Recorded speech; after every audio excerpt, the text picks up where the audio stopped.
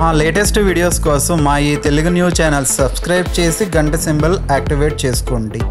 ఎన్నో వేదాలు అభ్యసించిన గొప్ప మహర్షులు కూడా సూర్య భగవానుడిని ప్రత్యక్ష దైవంగా ఆరాధించేవారని పండితులు శాస్త్రాల ద్వారా తెలియచేస్తున్నారు. అంతేకాదు అక్షర జ్ఞానం లేని కొండజాతి ప్రజలు కూడా సూర్య భగవానుడిని ప్రత్యక్ష నారాయణుడిగా పూజిస్తారు. కంటికి కనిపించే దేవుడిగా భావిస్తారు. సూర్యనారాయణుడికి ఎంతో ప్రీతిని కలిగించే రోజు ఆదివారం. అంతేకాదు సూర్య భగవానుడి వలనే మానవులకి ఆయురారోగ్యాలు లభిస్తాయి. మన మన పెద్దలు ఏం చెప్పినా అది మన మంచికే అని సూర్య నమస్కారం ద్వారా తెలుస్తుంది.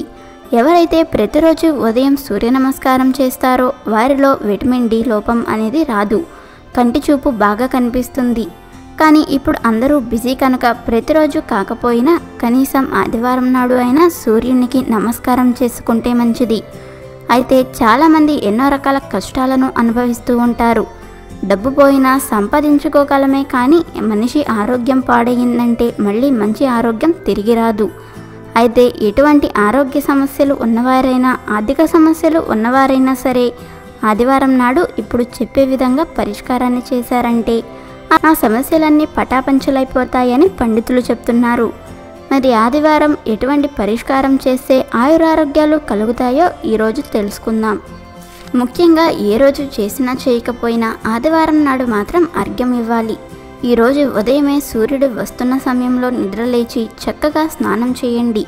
స్నానం చేసిన తరువాత రాగి చెంబులో నీళ్ళు పోసి ఆ నీటిలో కొంచెం పంచదార మూడు తెల్ల నువ్వులను వేసి బాగా కలిపి నదిలో అర్ఘ్యం ఇవ్వండి నదులు దగ్గరలో లేవంటే మీ ఇంట్లోనే సూర్యుడికి అర్ఘ్యం ఇవ్వాలి. కింద ఒక గిన్నె పెట్టి అర్ఘ్యం ఇచ్చిన తర్వాత గిన్నెలో పడిన నీళ్ళను తాగాలి. ఇలా త్రాగటం వలన మీకున్న ఆరోగ్య సమస్యలన్నీ తొలగిపోతాయి. అంతేకాదు మీరు చేసే అన్ని పనులలోనూ విజయాలు లభిస్తాయి. ఇలా అర్ఘ్యం ఇచ్చిన తర్వాత ఎర్రటి పువ్వులతో సూర్యనారాయణుని అర్చించుకొని గోధుమలతో చేసిన పదార్థాలను నైవేద్యంగా పెడితే మీ సమస్యలన్నీ తొలగిపోతాయి.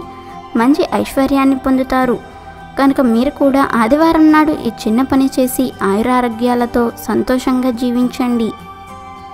వీడియో నచ్చితే లైక్ చేయండి షేర్ చేయండి. బట్ సబ్స్క్రైబ్ చేసుకోవడం మర్చిపోవద్దు.